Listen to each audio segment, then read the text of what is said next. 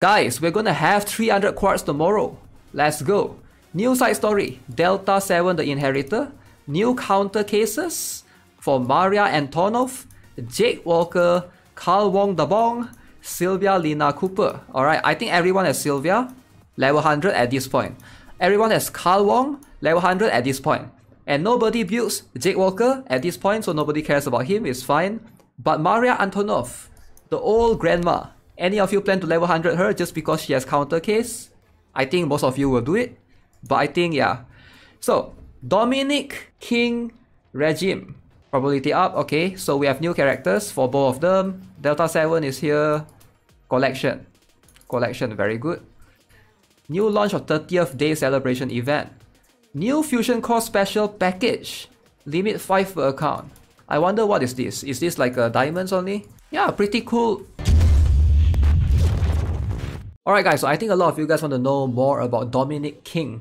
Alright, so this dude right here, he is actually not too bad. Alright, in my opinion, he's actually quite good. Alright, what makes him different from other defenders? He is a defender with 4 cores. Alright, that's a bit high for a defender. Uh, in most cases, most defenders have 3 cores. Alright, defenders like Ryan, defenders like Lee Yuumi, right? But the thing that he has is he's quite a bulky stats. He has pretty good stats. 67,000 HP, 3.9k attack, which is not bad for a defender. Alright, and then 1.5k defense, etc. Uh, he's not an evasion build, so evasion is a bit low. Alright, let's talk about skill. So this one is just basic attack, nothing special here. So this particular skill, uh, basically it releases when his HP uh, reaches 70% and 40%, right? It will taunt nearby target, uh, basically increase its own damage, increase uh, damage reduction by 7.5% to 15%, depending on the number of targets hit, which is really crazy. So level 5 basically recover 10% uh, HP when 70% HP threshold is reached, and recover 20% HP when 40% HP threshold is reached. So he has self-heal in this passive skill, which is really interesting. Most other defenders don't have this self-heal ability. So in a way, he can heal himself back up for uh, to basically last longer in the battle. Alright, let's talk about this skill. This is basically uh, 18 second skill, right? Slams to the ground, reduce attack by 15%, and when you go high, uh, it just reduces the cooldown of the skill, which is quite crazy. Going into the ultimate skill. Alright, so release shockwave from his body, uh, increase own defense by 25% for 12 seconds. So at skill level 5, apparently the duration will add 6 seconds, which is a 12 plus 6, uh, 18 seconds. So let me show you guys how strong he is in battle. Alright, so let's see if we can bring some, some enemy units, some ground units. So we're gonna honor AI. So we're gonna place him right here. Alright, look at this. Boom. Pretty cool. I actually like this King Fury guy. But yeah, his cost is a bit high. If you already have Lee Yuumi, Awaken Day, will he have a spot in your team? Probably not. But here's the thing. He is strong when he's buff. Alright, in KR, I see a lot of people using him. During his PvP buff week, he is definitely strong. I'm not sure if I think he's a guy that might be safe for PvP because I don't think he will ever be banned. I don't think this guy will ever be meta. I could be wrong, but yeah, that's just what I feel. I feel like most players are going to go for Lee Yuumi and Ryan in terms of their defender choice, and this guy is going to be the guy that everyone overlooks. But if you want to have a backup PvP defender, right, just in case like your favorite tank, like for example Lee Yuumi is banned this week, right? She might be banned next week again, depending, right?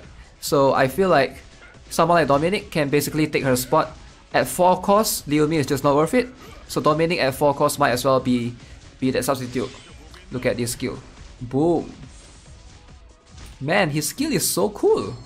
His skill is really really cool. Okay, so in my opinion, for most players, if you are free to play, just skip him.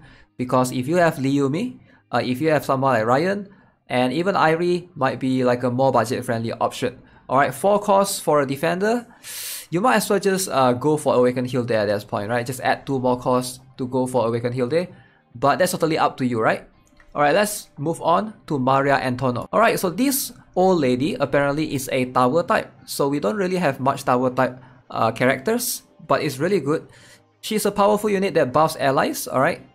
And she can summon like an entire army. I'll show you guys later.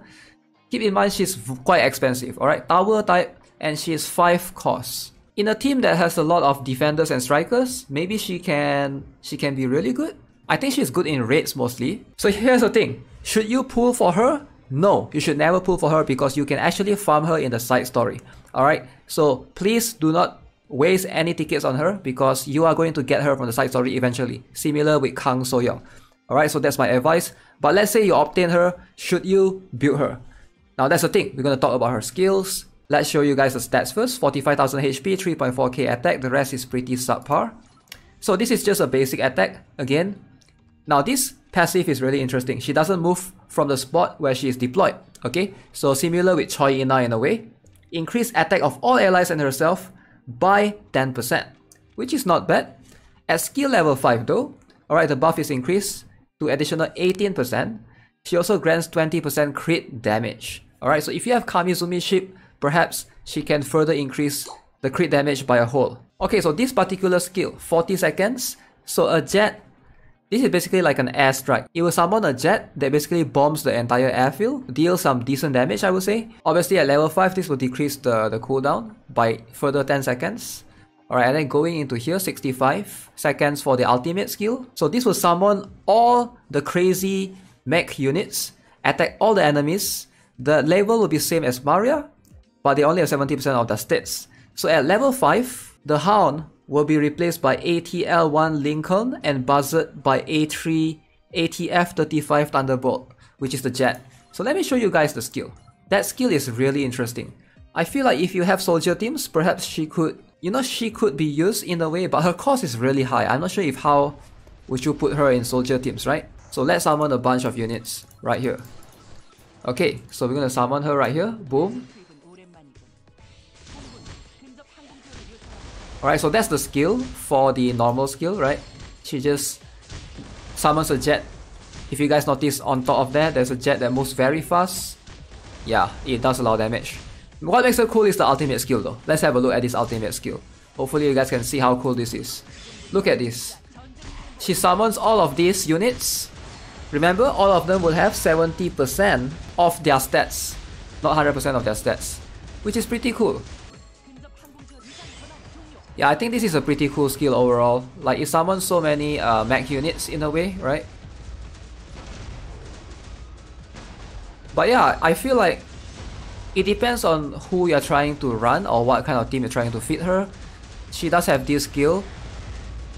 You can only use this once every 65 seconds. Okay, which is not too bad. So that's like every 1 minute plus. I don't know man. Maybe you need skill cooldown on her to make this work and you probably might be struggling with more skill cooldown sets but I think that's the best way to make her work so that she can spam these two skills more often.